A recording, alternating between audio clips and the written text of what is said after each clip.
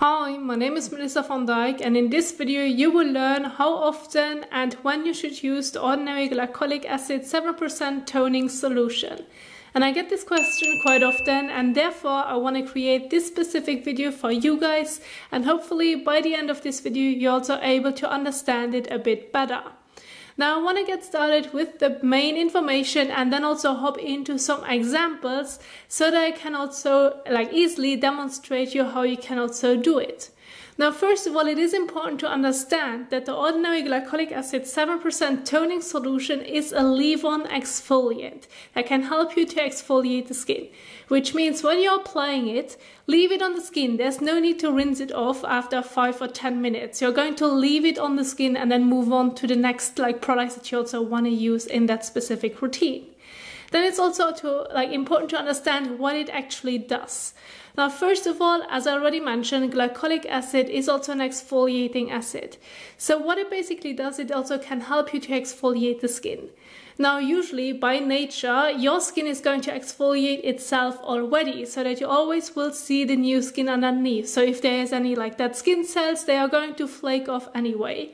However, due to certain like points such as sun damaged skin or in general damaged skin, also when getting older, this um, like function can also become faulty. So this means that your skin needs a bit of help from something external to also exfoliate the skin. Otherwise, you can come across dry skin, flaky skin, dullness, an uneven skin tone, maybe also clogged pores that can also lead to breakouts and blackheads. So then you also need to help your skin to exfoliate itself again. And so this can basically start at any age. This also depends on how good your skin is going to work. Some people do not need to use an exfoliant, whereas others really need it and it can also show a difference.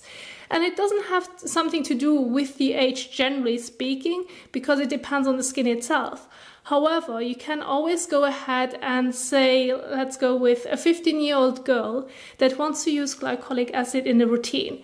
Well, how often should she use it? Well, first of all, this depends on her skin because at a young age you can still have also sun damaged skin, depending also on how you also took care of the skin. However, you can say that if you're already a bit younger, since your skin is still uh, younger as well, it may not need to use it as often than someone with damaged skin and also being older. So you could go ahead and say that if you're younger, you may want to use it less often than someone that's older. But you also have to consider certain factors. And this is also really important. So when someone is going to ask me, how often should I use glycolic acid? Well, you have to figure it out. You have to see how your skin is going to respond to it, and based on that, you're going to adjust it.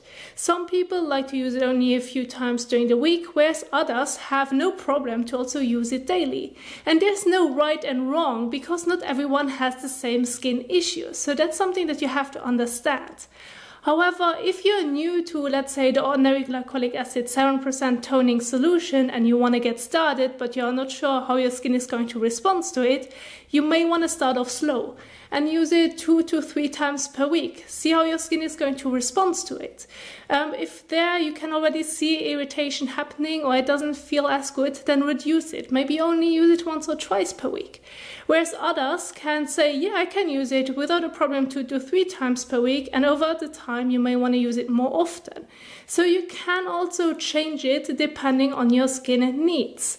So there's no right and wrong on how often you should use it during the week. Figure it out, see what works best for your skin. This is one point that I want to clear up since I get this question quite often. Now there's also another point that I want to talk about and this is also what glycolic acid actually is. Now, glycolic acid is also an acid that can help you to exfoliate the skin, to loosen any dead skin cells so that they're going to fall, like basically fall off to reveal new skin underneath. And it also goes under the category of an AHA, an alpha hydroxy acid. Now, alpha hydroxy acids, such as glycolic acid, or lactic acid, or mandelic acid, those are all leave-on exfoliants from the ordinary that I just showed you. And those are also um, exfoliating acids that are coming under the category of an AHA, an alpha hydroxy acid.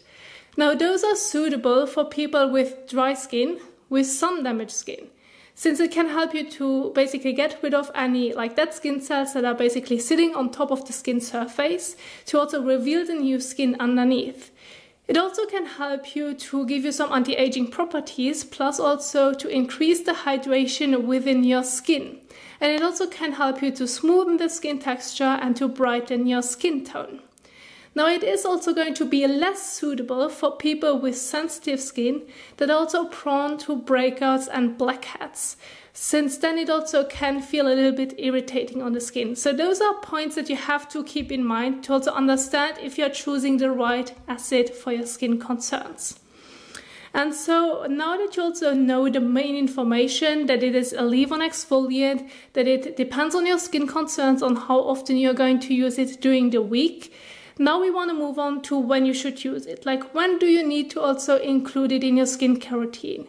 And also after what step are you going to use it? This is also really important. And I want to talk about what you can also do and what you should avoid to also avoid skin irritation. So let me get started with also an example skincare regime and this is what it could look like. So this could be your morning and or evening skincare like skincare routine starting off with your first step, which is a gentle cleanser.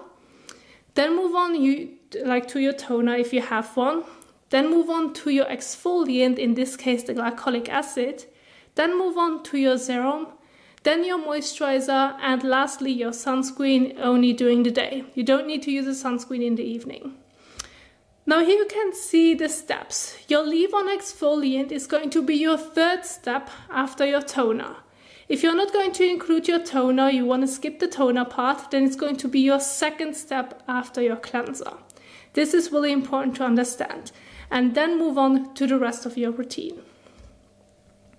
Now let me also give you some um, ordinary glycolic acid does and don'ts. So I want to keep it fairly short and give you immediately with those little images some great examples. Okay, so this would be the correct order of application. You're going to get started with a gentle cleanser. This is important. And I'm going to pick the ordinary squalane cleanser.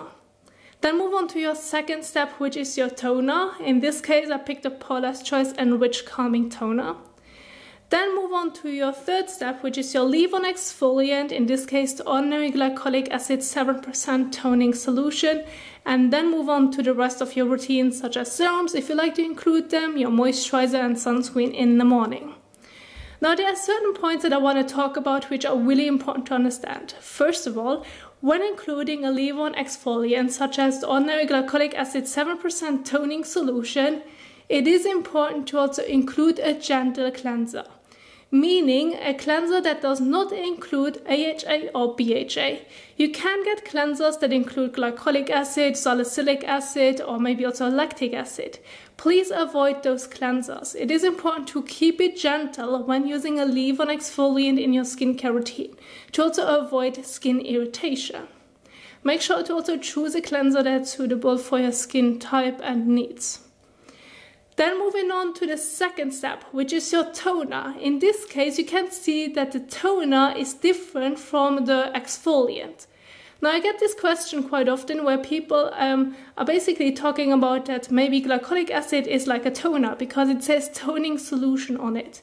But it's not a toner, it still is going to be a leave-on exfoliant. So please do not think that the ordinary glycolic acid 7% toning solution is a toner. It is not, it is an exfoliant which means you're going to use it after your toner. Now, usually I would say that a toner is optional, which it still is, it is optional. However, it can be very beneficial when also using a toner before applying your exfoliant. Depending also on the cleanser you've chosen, you want to then move on to your toner.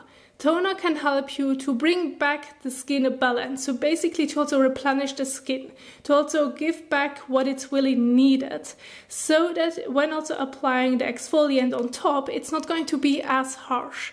Since when skipping the toner, you may experience that the exfoliant is going to feel a bit more harsh on the skin than when including a toner. It's kind of like a protecting shield, but still also acts like um, like the toner is basically the function of a toner is like it's going to protect the skin before moving on to the exfoliant. So therefore, if you want to include a toner, which I can recommend, this is going to be your second step and then move on to your leave-on exfoliant. So this is going to be the correct order of application. Your glycolic acid toning solution is not a toner. Now here you have an example what you should not do. And this is also using, for example, two exfoliants in the, same, in the same routine. So you have step number one, your cleanser. Step number two is going to be your ordinary glycolic acid toning solution, and then you would also move on to lactic acid. If you're going to do this routine, this is going to feel so irritated on the skin. And this is also where people think that the glycolic acid is going to be your toner. It's not. So please only choose one of them. Only go with the glycolic acid toning solution or lactic acid as your exfoliant. And choose a separate toner that's soothing that doesn't include AHA or BHA acids. This is really important to understand. So please do not do this routine. And also do not use in the same routine glycolic acid with mandelic acid or like both lactic acids, 5% and 10% in the same routine. Since those are all acids that are going to exfoliate the skin, you don't want to irritate or over exfoliate the skin. You want to remove the dead skin cells, but still also keep your skin at bay so that it doesn't feel irritated. So go ahead and uh, do this order of application where you're going to include a soothing and calming toner in between, but please do not use two exfoliating acids in the same routine. Please keep in mind, this is correct, this is fine, but do not do this. This is really important to understand. Then I want to move on also to something that um, people have already asked me as well, and this is when it comes to the ordinary peeling solution and the ordinary salicylic acid mask. Now the ordinary peeling solution does also include 30% of AHA and also 2% of BHA, which is salicylic acid. So sometimes people aren't sure what they can use after the peeling solution and therefore I also created an example routine which you can see right here. Again, this is the correct order of application when including, for example, the ordinary peeling solution or the ordinary salicylic acid mask. You're going to get started and wash your face with a gentle cleanser. Again, keep it gentle. It should be a gentle cleanser. Then you're moving on to the ordinary peeling solution mask or the salicylic acid mask. Rinse it off after 10 minutes with water. Then move on to your toner. Again, a toner that replenishes the skin. It shouldn't be a toner that includes glycolic acid, lactic acid whatsoever. It should be a soothing toner, not an exfoliant. And then you can go ahead and move on to your serums if you like to and your moisturizer. So it's really important to keep this in mind. Please do not use glycolic acid after the peeling solution. This is what you should not do because this can be very irritating on the skin. Please do not use glycolic acid, mandelic acid or lactic acid after the salicylic acid mask or the peeling solution. Do not do this. This is going to irritate the skin. Do this application instead, which also feels soothing and can be very beneficial. Now I also want to talk about something which really only applies if you should feel the need, and this also depends on your skin concerns. Now I haven't talked about BHA, which is salicylic acid, and I have one in front of me, which is also the one from Paula's Choice, the 2% BHA liquid exfoliant. The ordinary has a salicylic acid solution, but it's currently not available, therefore I want to give you the example with the Paula's Choice BHA. Now BHA is basically beta hydroxy acid. That's what it stands for.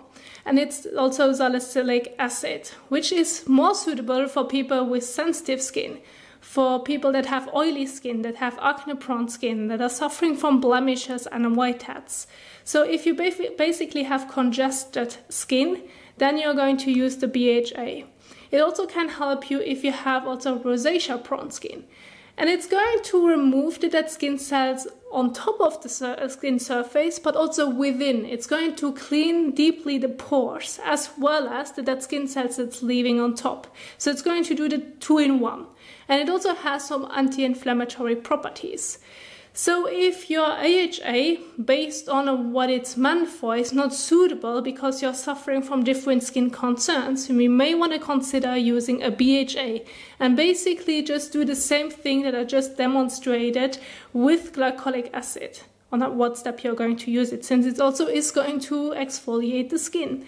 And the one that I'm using right here from Paula's Choice is also a leave-on exfoliant. So again, you don't need to wash it off, you're going to leave it on the skin. So it's the same step as well as it does kind of like the same thing than glycolic acid. It just also um, is suitable for people with different concerns. So it's also important to know your skin concerns and based on that you're going to pick the right chemical exfoliant for your skin.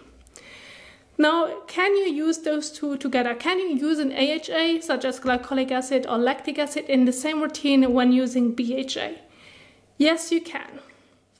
However, this depends on your skin. And you can also go ahead and use it, for example, like this. Start off with a gentle cleanser. Again, it's really important to use a gentle cleanser. Then as your second step, you want to move on to your toner. Make sure it's really a toner. Then you're moving on to your first exfoliant, which is going to be maybe your AHA or BHA, you can do it vice versa. Then move on to your second exfoliant. So your uh, first is going to be AHA, your second one is going to be a BHA. Can also be the other way around. And then move on to your serums and your moisturizer if you like to. And don't forget your sunscreen also in the morning. Now I do want to mention that this is going to work, however this depends on your skin on your skin concerns in general. If you aren't sure if you should pick both, you may want to get started slowly before using them in the same routine. You may want to use, for example, the BHA in your morning routine, don't forget your sunscreen, and your AHA such as glycolic acid in your evening skincare routine. Or you may want to alternate between them. Use the BHA on Monday, then your AHA on Tuesday, BHA on Wednesday. So you can either use them in separate routines or alternate days. Try this out for a while. And if you see that your skin responds well to it, you may also be able to use them in the same routine. I do want to be very specific about it. Please do not go ahead grab both products and use them immediately after each other if you've never used any of those acids before because this can really irritate your skin. Sometimes your skin needs also time to also adjust to certain products before you can use them in the same routine. This is also going to be the same case with using an AHA or BHA in the same routine, so please keep this in mind. Start off slowly, use it every other day, alternate between those two before using them in the same routine.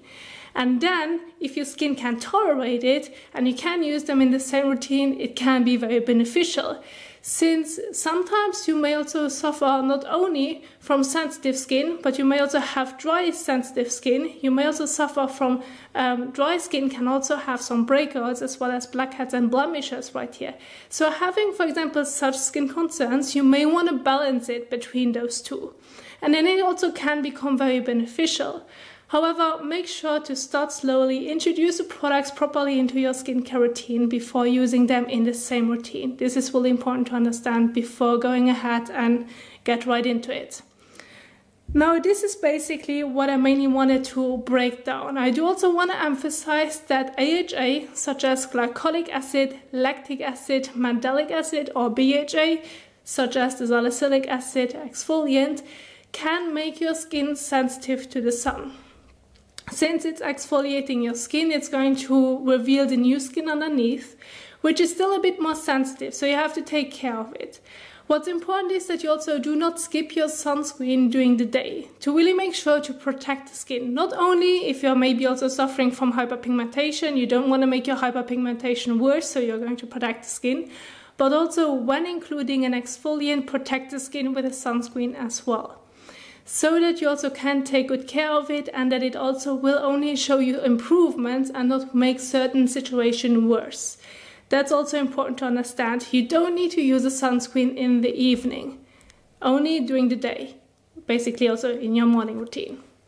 So this is also what I wanted to break down. I do hope that with the examples that I have shared with you, with the example routines, you are now able to understand how you can use the different exfoliants, such as mainly also the ordinary glycolic acid 7% toning solution in your routine, how often you can use it and when you should use it.